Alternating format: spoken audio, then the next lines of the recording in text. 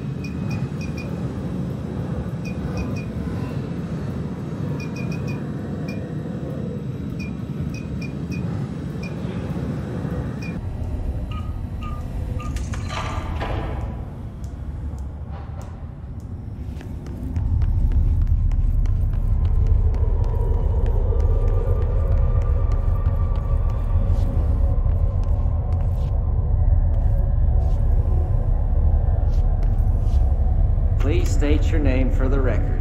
Paul Warren, astronaut, first class. And you are aware that exposure to the astral plane can result in death, disability, personal injury, corporeal untangling, cognitive collapse, loss of ego, and partial to full dementia? Yeah, yeah, yeah. I am.